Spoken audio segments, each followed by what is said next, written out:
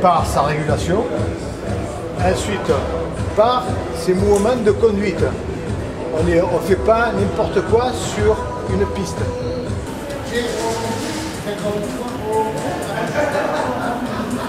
Merci. J'arrive, je vais régler tout ça.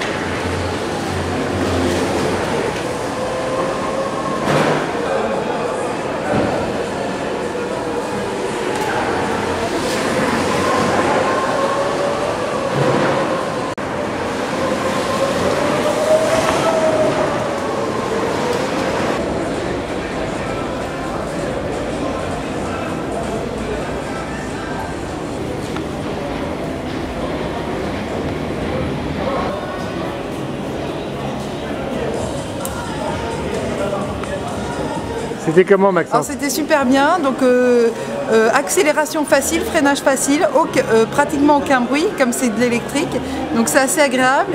Et effectivement, le fait que ce soit électrique, on accélère tout de suite, alors qu'un carte thermique, on va lentement au début et ça monte en puissance. Là, on a tout de suite une accélération, ce qui fait qu'on peut tout de suite sentir des sensations très sympathiques en carte.